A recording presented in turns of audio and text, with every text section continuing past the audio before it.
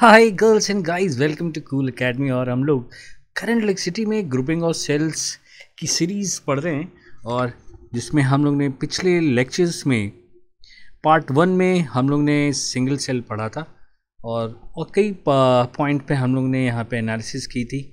और आज हम लोग पढ़ने वाले हैं पार्ट टू जहाँ पे हम सीरीज़ में सेल्स को अरेंज करेंगे डैट इज़ सीरीज़ ग्रुपिंग पढ़ेंगे और हम बेसिकली तीन पॉइंट्स को देखेंगे।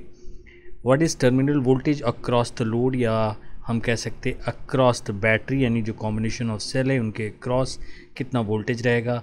Maximum power transfer to load resistance जो लोड है, यहाँ पे यहाँ पे क्या मैक्सिमम पावर यहाँ पे आएगा, क्या कंडीशन होगी, उसकी हम लोग एनालिसिस पिछले लेक्चर में कर रखे हैं। और लास्ट में हम एक एग्ज़ाम्पल लेंगे न्यूमेरिकल जो कि मोस्ट इंपॉर्टेंट है। फिजिक्स में थ्योरी हम जितने मर्ज़ी पढ़ लें न्यूमेरिकल्स तो मेन होता है हम लोग को सॉल्व करना। राइट गाइस इसी इसी तीन पॉइंट पे हम लोग डिस्कस करेंगे पैरल ग्रुपिंग ऑफ़ सेल्स और फिर हम मिक्स्ड ग्रुपिंग जहाँ पे सीरीज़ और पैरल कॉम्बिनेशन रहेगा और फिर फिफ्थ जो वीडियो होगा उस पर हम लोग कई अच्छे न्यूमेरिकल्स को सॉल्व करेंगे जो कि बोर्ड में आए होंगे। कुछ लॉजिकल क्वेश्चंस होंगे और कुछ कॉम्पिटिटिव एग्ज़ाम या कुछ स्टैंडर्ड बुक्स के क्वेश्चंस हम लोग उठाएँगे। एग्ज़ाम बेसिकली नीट और जेई के लेंगे एग्ज़ाम्स राइट गाइज़ और लास्ट में ये आपका काम है। आप सब्सक्राइब करें लाइक करें और शेयर करें इस चैनल को, जिससे मुझे मोटिवेशन मिले और मैं आपके लिए अच्छे से अच्छा वीडियो बनाऊँ। राइट गाइज़ तो चलो, चलते हैं हम लोग अपने पार्ट टू पे वीडियो पे, जहाँ हम लोग को सीरीज़ कॉम्बिनेशन देखना है। और सीरीज़ कॉम्बिनेशन में हम लोग पहले देखेंगे what is terminal voltage across the road right guys तो चलो, चलते हैं। यस गाइस तो हम यहाँ पे देखेंगे कि सीरीज़ में जब हम सेल्स को कनेक्ट करते हैं तो इनके टर्मिनल वोल्टेज हमारे क्या होंगे, वो देखते हैं। तो सिंपल है कि ये हमारा सर्किट है और ये करंट फ्लो कर रही है। तो हम कर्चअप फ्लॉ लगा सकते हैं, क्योंकि हमने बताया कि करंट करंट इलेक्ट्रिसिटी में हमारे दो ही लॉ वर्क करते हैं, और वो हैं के और के वी एल तो यहाँ पे एनालिसिस करने के लिए हम के वी एल लॉ लगाएँगे और यहाँ पे ध्यान देंगे कि हर सेल जो है प्लस माइनस प्लस माइनस एक ही डायरेक्शन में करंट को फ्लो कर रहा है। इनका इलेक्ट्रिकल प्रेशर एक ही डायरेक्शन में है। यानी यहाँ आप देखो, ये प्लस है, ये माइनस है, ये प्लस ये माइनस एंड सो ऑन ये अरेंजमेंट है। यहाँ कोई रिवर्स में नहीं है। E one plus E two voltage rise अगर हम करंट की डायरेक्शन में मूव कर रहे हैं तो up to E N and that must be equal to क्या होगा? Current let it be current is I is total resistance total resistance हमारा क्या हो जाएगा? That is R one plus R two plus up to R N तक। और साथ ही साथ यहाँ पे होगा I into R that is the voltage rise must be equal to the voltage drop ये हम लोग ने अपने पिछले लेक्चर्स पे जहाँ पे हमने के और के का लेक्चर लिया है, वहाँ पे आप इसे देख सकते हैं। राइट गाइज़ तो यहाँ पे हम आई की वैल्यू निकालेंगे और आई की वैल्यू हो जाएगी E one plus E two plus E three plus and so on plus E N divided by R one plus R two plus R three and so on up to plus R N plus R resistance यहाँ पे हमने ध्यान देने की बात है कि cells हमारे एक ही डायरेक्शन में करंट को फ्लो कर रहे हैं, यानी इनका जो सेटअप है कोई रिवर्स डायरेक्शन में नहीं है दूसरे के सेल से। तो इस बात का हम ध्यान देंगे। अगर रिवर्स होगा सपोज़ कर लो ई टू हमारा अगर रिवर्स है मींस नेगेटिव इधर है और पॉजिटिव इधर है तो हम क्या करेंगे? ई टू को हम यहाँ पे क्या करेंगे? माइनस ई टू कर देंगे राइट गाइस तो ये हमें यहाँ पे ध्यान देना है। और जैसा कि हमने बताया कि जैसे हमने इक्वलेंट रेजिस्टेंस निकाला था, उसी तरह इक्वलेंट सेल कॉम्बिनेशन के निकालेंगे। तो ये देखो, हमने एक सर्किट बना रखी है। इसमें आर इक्वलेंट हम यहाँ लिख सकते हैं इंटरनल रेजिस्टेंस का आर इक्वलेंट क्या हो जाएगा? That is sum of all internal resistance that is R three up to so on plus R N और इक्वलेंट वोल्टेज क्या हो जाएगा? यानी ई एम एफ़ कितना हो जाएगा? Equivalent that is E one plus E two plus E three and so on up to E N ये हमारा इक्वलेंट ई एम एफ़ हो गया electromotive force electromotive force just like a pressure है. Electrical pressure कहते हैं, जिससे कि current flow कर रहा है. राइट गाइस तो ये हमारा सिंपल सा थॉट था जब हमने सीरीज़ में सेल्स को लगाया था. अब हम इसमें स्पेशल केस लेते हैं जब इसके इंटरनल रेजिस्टेंस और इलेक्ट्रोमोटिव फोर्स यानी ईएमएफ इक्वल हों, तब हम लोग एनालिसिस करते हैं। तो अब यहाँ पे आप देखो, सबके ईएमएफ इक्वल हैं और इंटरनल रेजिस्टेंस भी इक्वल हैं, तब हम इसकी यहाँ पे वोल्टेज निकालते हैं, यानी इक्वलेंट ईएमएफ और इक्वलेंट रेजिस्टेंस निकालते हैं। सेम फार्मूला जो हम लोग ने पिछला अभी डिराइव किया है, उसी को यहाँ अप्लाई करेंगे। तो टर्मिनल वोच निकालने के लिए तो हमने निकाला था that is E one plus E two plus E three अगर यहाँ पे एन सेल्स हैं एन नंबर ऑफ़ सेल्स एक ही डायरेक्शन में लगे हैं, ध्यान देना, एक ही डायरेक्शन में लगे हैं तो टोटल हो जाएगा E one plus E two plus E three up to N times that will be equal to N E that is the voltage rise that must be equal to total internal resistance I into और ये भी N times करेंगे तो N R हो जाएगा, और plus आई into R और यहाँ से हम आई की वैल्यू निकालेंगे तो ये हो जाएगा N E upon N R plus R right ये हमारा करंट हो जाएगा जब हमारा इंटरनल रजिस्टेंस इक्वल हो और ईएमएफ इक्वल हो। यहाँ पे हम एक छोटा सा केस डिस्कस कर लेते हैं। और यहाँ पे अगर हम देखना चाहें तो आर इक्वलेंट हम यहाँ लिख सकते हैं एन इंटू आर और इक्वलेंट भी लिख सकते हैं that is N into E एक का सेल का ईएमएफ अगर ई e है तो यहाँ पे हमने ये लिख दिया। अब हम ये थोड़ा सा एनालिसिस करते हैं। एक केस लेते हैं। पहला केस जब लेते हैं कि एन की वैल्यू जो है, वो much much less than R हो। इसका मतलब ये हुआ कि लोड रेजिस्टेंस की वैल्यू इनके इंटरनल रेजिस्टेंस से ज़्यादा है। तो वो हम क्या करेंगे? तो हम इसको नेगलेक्ट कर सकते हैं और तब हम आई की वैल्यू लिख सकते हैं that is N E upon R means ये हो गया हमारा। इसका मतलब आप देखो कि अगर हम सेल को, एक सेल को उस रेजिस्टेंस के क्रॉस अप्लाई करते हैं तो जो करंट आएगी और सीरीज़ में जब हम लगाएँगे उसी सेल्स को तो एन टाइम्स हो जाएगी, अगर हम सिंगल सेल को लगा के उस लोड के क्रॉस करंट को लेते हैं, ठीक है? तो एन टाइम्स हो जाएगा। सेकेंड केस लेते हैं कि इसका उल्टा ले लें कि एन आर की वैल्यू ग्रेटर देन आर हो तो इन दैट केस ये क्या हो जाएगा? That is I is equal to N E upon N R हो जाएगा, और यहाँ पे ये कट जाएगा it will become E by R इसका मतलब क्या हुआ? इसका मतलब ये हुआ कि अगर इंटरनल रेजिस्टेंस की वैल्यू ज़्यादा है तो जो करंट मिलेगी वो एक सेल को जिसका ई एफ़ ई है, उसको हम लोड रेजिस्टेंस के क्रॉस अगर लगा दें तो जो करंट मिलेगी, वही करंट यहाँ पे मिलेगी।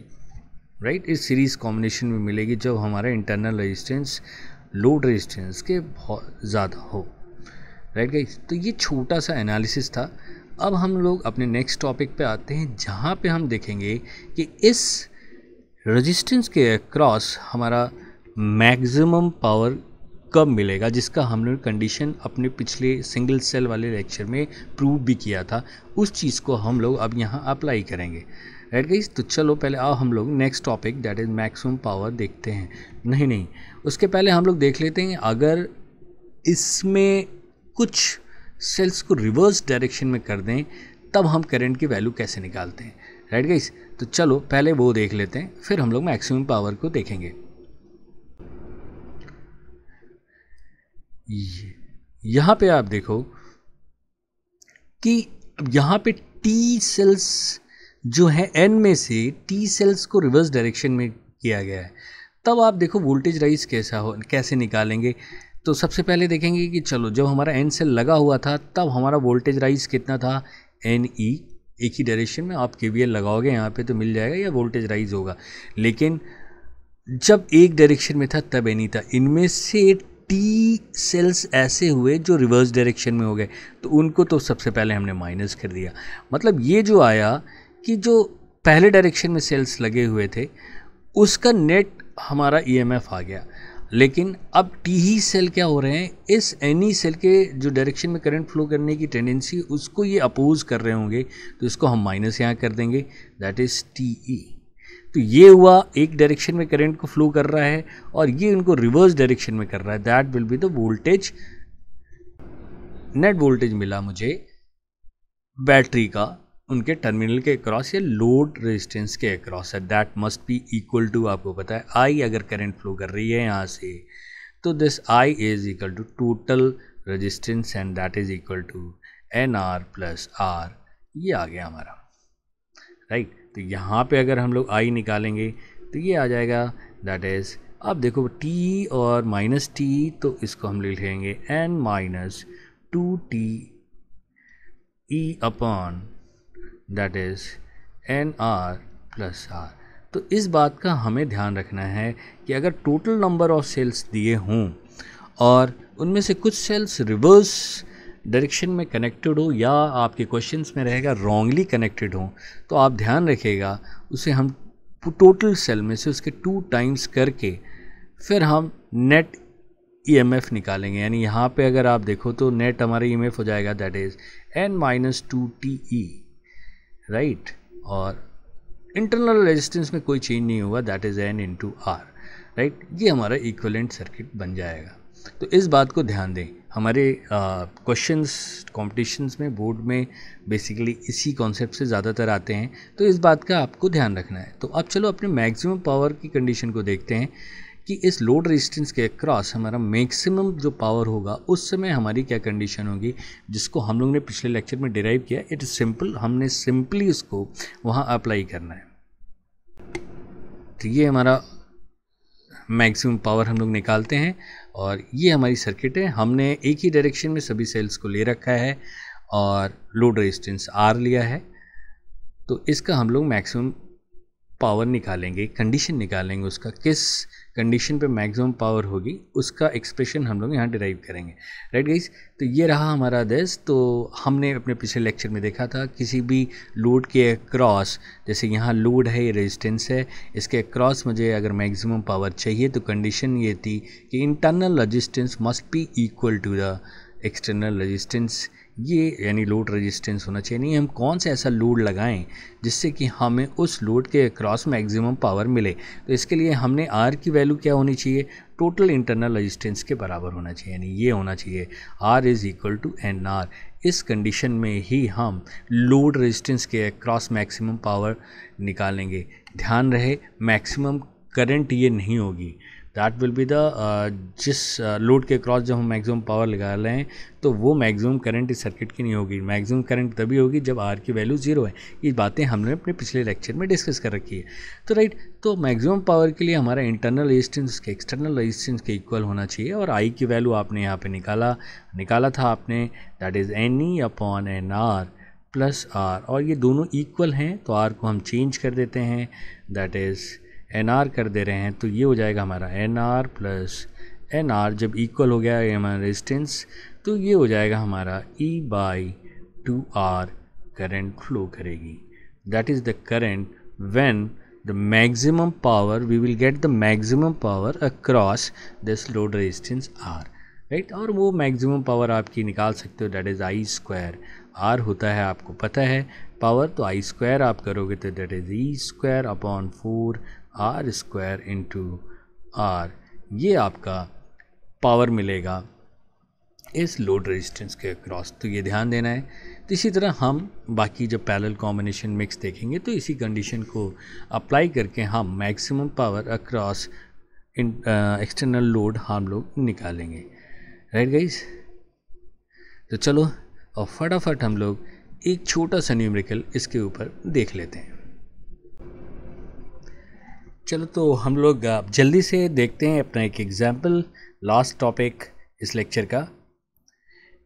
तो थर्ड टॉपिक है और हमारा एग्ज़ाम्पल है this twelve cells each having the same E M F are connected in series okay यानी ट्वेल्व सेल्स जो हैं वो सीरीज़ में लगे हुए हैं are kept in close box ठीक है? Some of the cells are wrongly connected okay उसमें से कुछ सेल हैं जिनकी मतलब अपोजिट डायरेक्शन में वो कनेक्टेड होंगे। This battery is connected in series with an ammeter and two cells identical with the others okay यानी ये एक्सटर्नल अरेंजमेंट है बैटरी के बाहर। The current is 3 ampere when the when the cells and the battery aid each other, okay? यानी जो बाहर दो cell लगे हैं, वो एक ही डायरेक्शन में है बैटरी के। And two ampere when the cells and battery opposes each other यानी अच्छा जो दो सेल्स हैं बाहर लगे हुए, वो बैटरी के सेल्स को अपोज कर रहे हैं। तो अब हमें बताना how many cells in the battery are wrongly connected right guys तो हम लोग फिगर देखते हैं। सबसे पहले ये है, ये ट्वेल्व सेल्स हैं। इसमें इस तरह सपोज़ कर लो ये हमारा पॉजिटिव है, ये निगेटिव है, फिर पॉजिटिव है निगेटिव है।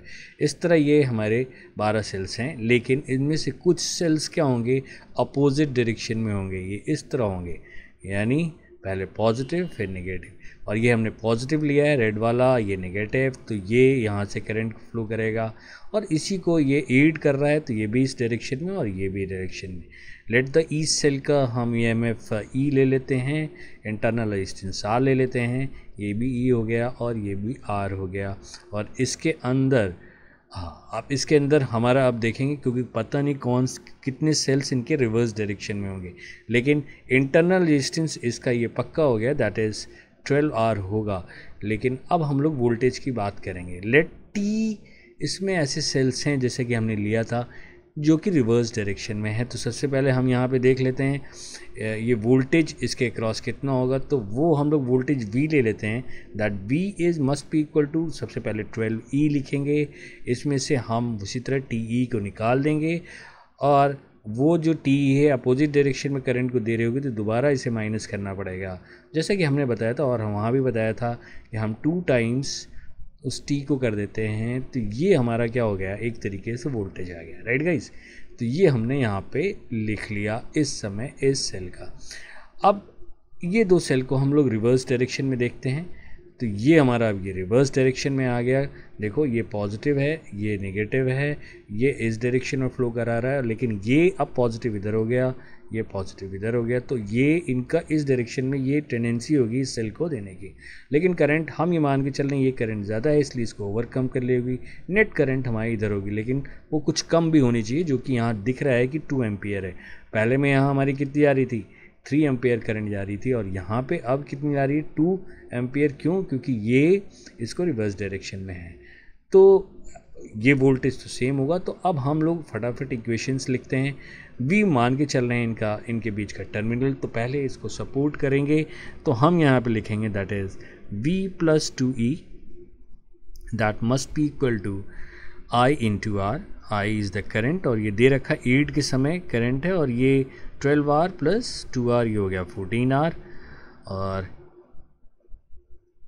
इसी तरह हम यहाँ पे जब ये इनको अपोज कर रहा होगा तो ये माइनस टू ही हो जाएगा।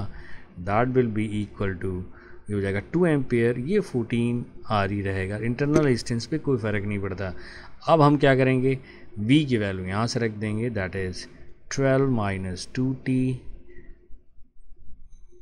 E right और ये लिख लेंगे मा plus two E divided by V की वैल्यू होगी ट्वेल्व माइनस टू टी लिख लेते हैं और यहाँ पे ई e कर लेते हैं और माइनस टू ई कर लेते हैं राइट गाइज़ और ये कट जाएगा, ये हो जाएगा थ्री बाई टू राइट तो ई e हर जगह कैंसिल हो जाएगा, यहाँ से आप देखो कॉमन करो।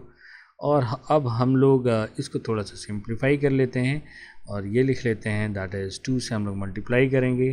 तो इस इक्वेशन को हम यहाँ पे लिखते हैं टू से मल्टीप्लाई किया तो ये हो गया हमारा twenty four minus four T और plus four is equal to यहाँ थ्री से मल्टीप्लाई किया तो हो गया थर्टी सिक्स माइनस सिक्स ये हो गया टी और ये हो जाएगा माइनस सिक्स राइट? तो ये हमारा इक्वेशन हो गई। तो अब इसे हम लोग सॉल्व कर लेते हैं। आ, इसको सिक्सटी को इधर ले आते हैं तो ये हो जाएगा हमारा टू टी। और इधर हम ले आएँगे ये हो गया हमारा ये हो गया thirty minus six thirty six minus six thirty. और ट्वेंटी फोर को इधर ले आएँगे तो ये हो जाएगा हमारा सिक्स। और ये फोर भी माइनस होगा तो इधर हो जाएगा six minus four, that will be equal to, so T की वैल्यू क्या हो जाएगी? One right guys simple question था। T is equal to one आ गया। तो आंसर क्या होगा? इसमें से इस बैटरी में हमारा एक सेल होगा जो रिवर्स डायरेक्शन में होगा, यानी सब एक डायरेक्शन में लगे होंगे। यानी सब इस तरह लगे होंगे, इस तरह इस तरह, और एक ही जो होगा, वो अपोजिट डायरेक्शन में लगा होगा right guys guys simple question था। इस तरह के क्वेश्चन आपके एग्ज़ाम में आते हैं। तो आज का लेक्चर यहाँ पे हम फिनिश करते हैं। मिलते हैं हम लोग नेक्स्ट लेक्चर पे, जहाँ हम लोग पैरेलल कॉम्बिनेशन को देखेंगे और एक न्यूमेरिकल को सॉल्व करेंगे। Right guys thanks for watching bye bye take care of your self हाँ सब्सक्राइब करना मत भूलिएगा।